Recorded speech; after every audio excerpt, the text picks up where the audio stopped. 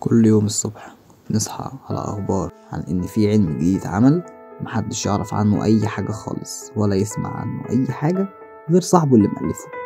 وغالبا بتكون العلوم الزائفة ديت معمولة عشان خاطر يا إما مثلا هتتحط في أفلام خيال علمي أو مسلسلات أو ممكن تدخل في بعض حلقات جنبه للمدهش لكن الواقع إن الحاجات دي ملهاش أي أساس صحة علمية والكلام فعلا ممكن يودي ناس كتير في مشاكل هم في غنى عنها.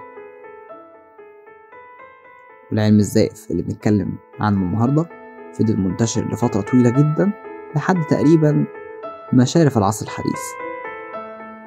ومع إن العلم ده فعلا ملوش أي أساس من الصحة ويبان كلامه غير منطقي بالمرة إلا إن في ناس كتيرة جدا بتتفائل بيه وبتحب إنها تسمع عنه أو تعرفه نظرا لفكرة إنه هو ممكن يكون سبب حل لمشاكلهم أو إنه حاجة تجريبية ممكن تساعدهم مع إنه أصلا لا ليه أي علاقة بالعلوم ولا بالتجريبية. أهلا وسهلا بيكم حلقة جديدة من مكعب روبك. النهاردة بنتكلم عن الفرق ما بين علم الفلك ومش علم التنجيم.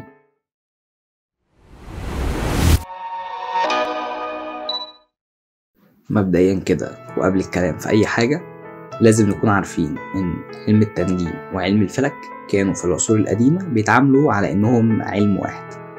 وبدأوا ينفصلوا تدريجيا لحد ما فعلا أصبحوا علمين منفصلين تقريبا في القرن السابع عشر اللي هو عصر التنوير لما كان ساعتها بيتم رفض اعتبار التنجيم كعلم من أساسه.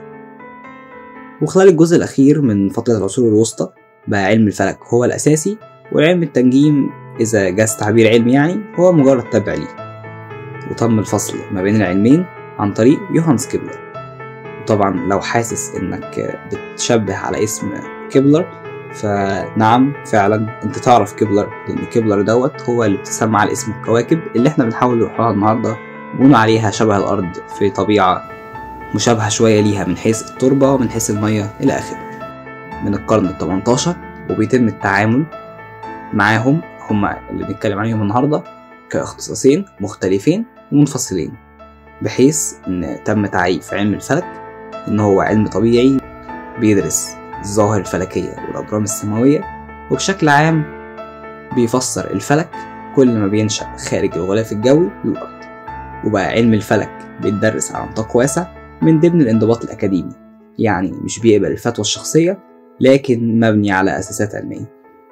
وعلى النقيض الآخر طبعا علم التنجيم اللي هو بيستخدم المواقع الظاهرة الأجرام السماوية عشان يتنبأ بأحداث مستقبلية وهو زي ما إحنا عارفين ملوش أي معنى إنما هو مجرد علم زائف وفي مرحلة ما قبل العصر الحديث ما ميزتش الثقافات في التوقيت دوت تمييز واضح ما بين التخصصين.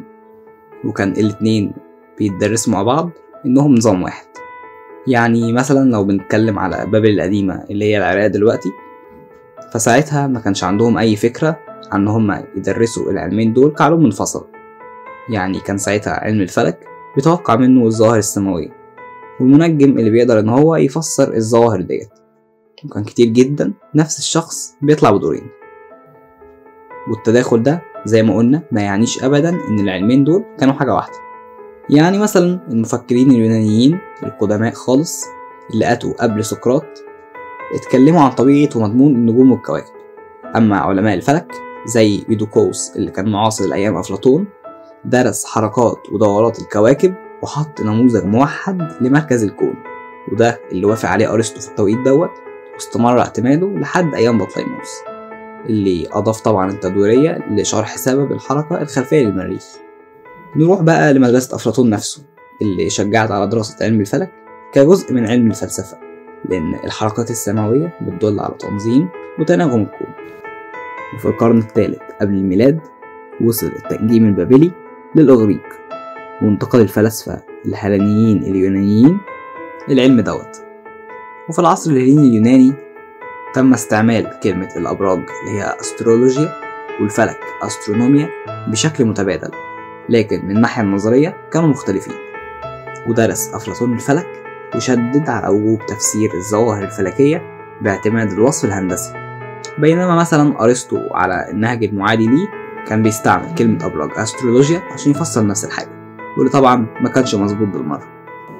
أما بقى لو سيبنا العصور القديمة والوسطى وأي حاجة زمان وجينا في العصور الحديثة هنلاقي مثلا كارل ساجان عالم الفلك الأمريكي بيوضح الموضوع دوت في كتابه كوزموس وقال لو أنت مثلا من مواليد برج الميزان وحاولت تشوف الطالع بتاعك في أشهر كتير هتلاقي إن هما جايبين نفس الكلام. وهتلاقي المنجم هناك بينصحك بإنك تسترخي عشان دوت بيساعد على تخفيف التوتر.